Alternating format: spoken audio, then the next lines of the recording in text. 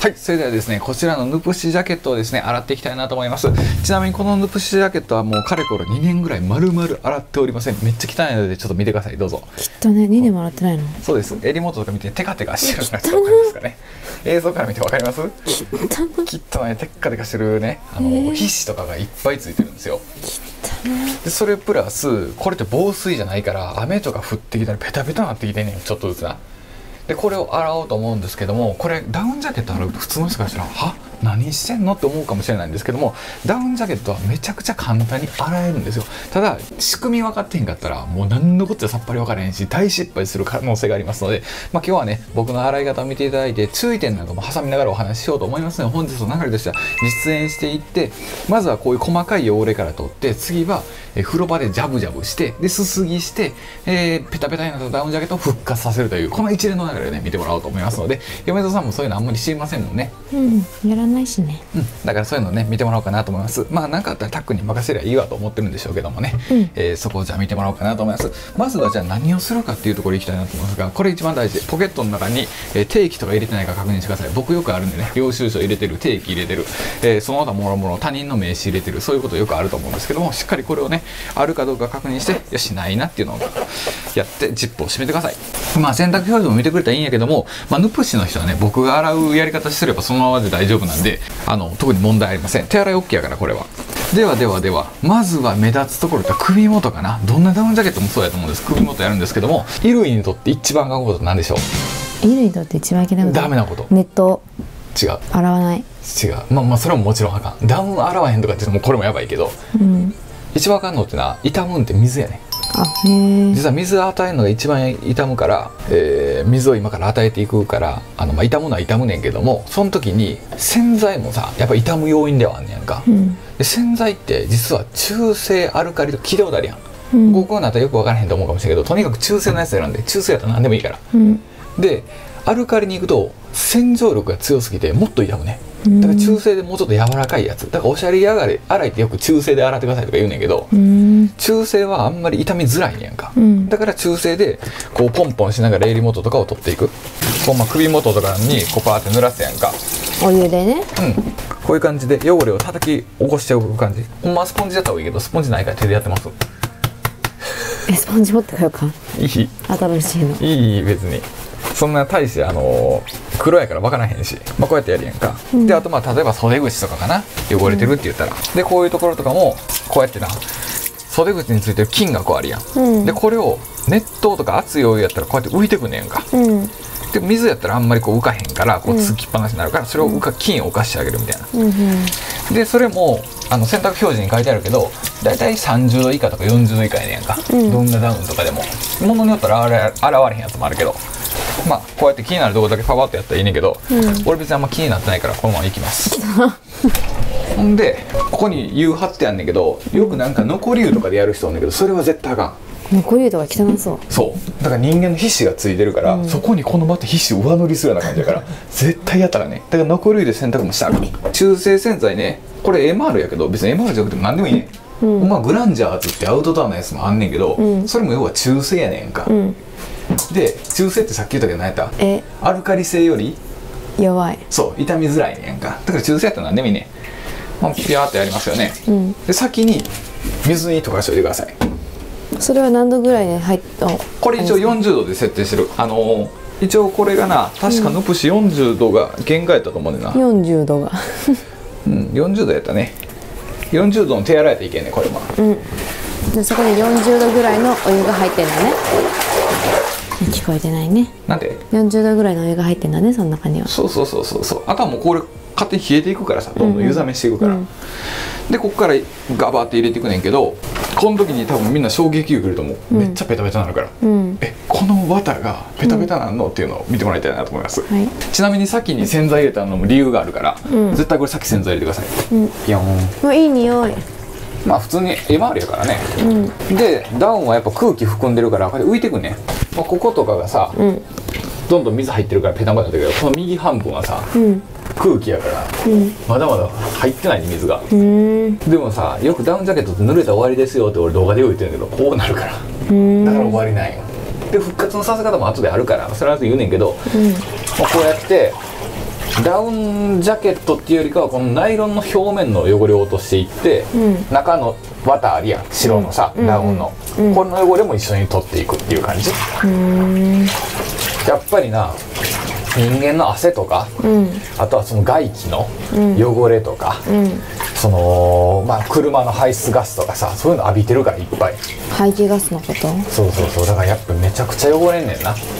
で基本的にあのクリーニングとかに出しても工程は一緒やねんか、それを手で一点一点きれいにするのは自分でできるけど、うん。業者に渡したらバーって一緒にされるからさ、うん。どっちかっていうと自分でやった方が丁寧は丁寧やと。思うまあそうだね。うん。でもよくわからない人からしたらさ、うん。えそんなもん出した方がプロに頼むのがいいやんって言うけどやってる工程は一緒やねんか、うん。それを丁寧に一個一個やるのか、うん。あとはもう一生歌に嫌い知らんおっさんと一緒のダウンジャケットと混ざられるのがどっちがいいかっていうだけの話やねん。でもこれ見てる人ももう知らんおっさんよ。俺の視聴者さんはそんなこと言うの？あそうか。お兄様だったお兄様方だごめんごめんごめん。俺の視聴者さんはあのお兄さんよ。そうかごめんごめん。おっさんはこのチャンネル見てない。そうかそうか。おっさんはなこんなあのちゃんとした服買わへん。そうか。うんユニクロでええねん言うてるから。ワンマンでええねん言うてそうか。みんなあの素敵なお兄様方だったね。それごめんなさいごめんなさい寿司ばあさんって言われるぞその時そんなこと言っとったら。つけ置きしてたらほらどんどん空気が抜けていって、うん。もうダウン全体が、うん。あの水に浸ってくんねやんか。へえ今話されたこと全部興味なさすぎて全然覚えてない。あそうか。うん。まあとにかくゆっくりゆっくり汚れを剥がしていくってこと、温度を高くしたり中性洗剤を使って。うん。汚れ剥がさんとこびりついてあるから。うん。そういうことだけ。うん。OK それすら覚えてないもう。な1時間待とうか。はーい。はい OK はい、それでは1時間が経ちました。僕はちょっともうビール飲んじゃってるんですけどもね、米田さんもね、そうやったんですけど、ありがとうございます。こんな感じで、まあ、1時間どころか2時間ぐらい多分経ったと思うんですけどね、いい感じで、えー浸透したと思います。水がね、やっぱりちょっと汚くなってるというか、なんかわかります？汚ちょっと汚い感じになってるんですけどやっぱこれこんだけね2年間着てると皮脂とかあとはまあそういう外気とかねそんなのがいっぱい出てくるんですよ。でそれがようやく剥がれたっていう状態なんで、えーこの辺赤がね出てますが汚いですね。流していきたいなと思います。これをね、うん。ほんまは縦型の方がいいねん。こういうドラム式はあんま良くないねんけど。しゃあないね。それでね洗っていくんですけど洗う時はすすぎだけでいいです。洗濯機って一番すすぎが落ちんねん汚れだからすすぎだけでいい。他はやらなくていい。はい。で脱水はあんませんでいい。破れたりするかもしれんから、うん。とりあえず脱水は一旦なしで、うん。すすぎだけやる感じで、ん。これは3回すすぎやります、うん。で水の量が量が多ければ多いほど汚れ落ちるから。うん。あの節約してな水少なくするやん。ほんなら汚い水でずっと洗い続ける感じだから、多かったらさその分菌も逃げるやんか。うん。だから、まあ、できれば多めで。いただきます。で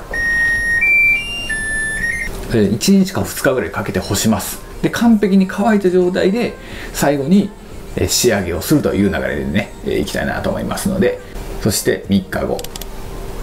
ドンはいということでね、え3日ぐらい乾かしたんですかね。このここにペタペタのヌプシが来ました。あのー前まで見てもらってるような感じだったら分かるかなと思うんですけども結構ペタってますよね。あ確かにボリューム感なくなってるねっていうのもそうやしやっぱ固まっちゃってます。こうギューッとね一回濡れてるから固まって重力に負けて下にねこう全体的に落ちてるからこの辺にはないんやけどもこのね塗ってるここら辺に溜まってるよというような状態がこう見てわかるかなと思います。実際着てみましょう。そんなこと言う前にねお前着てみやん。のちょっとわからんやないかいとぺちゃくちゃ喋ってる前に前まず着んかいと思うかもしれないですけどまあ着てみましょう。もう着たら全然ちゃいますねもうあの隙間がねいっぱいあります。だからこう綿が下に落ちてもうてるからこの綿の入ってないところっていうのかな。ただのこことかやったらナイロンジャケットにここなっちゃってるんですよ。全くここ綿入ってないからね。こう手首の形出てくるでしょ。で逆にここにね綿がいっぱい溜まってたりするということで今ね綺麗になってるのは綺麗になってます。これがもう一番ヌプシ今綺麗な状態になっててあとても良かったねってことなんですが最後にこれダウンをね復活させてあげないといけません。だからダウンを復活させてあげるのは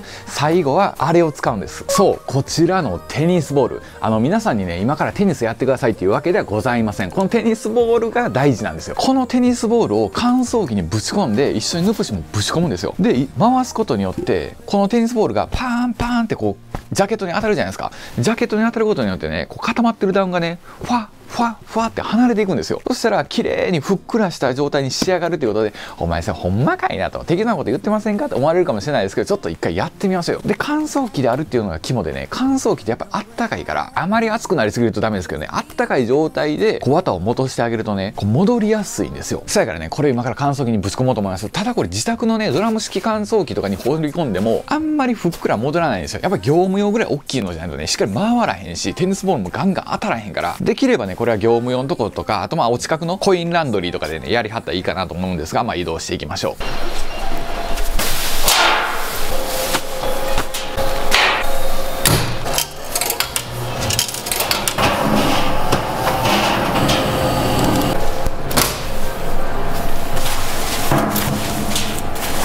はいということでこちら帰ってきました。どうですか？この見た感じのふっくらしてる感じ。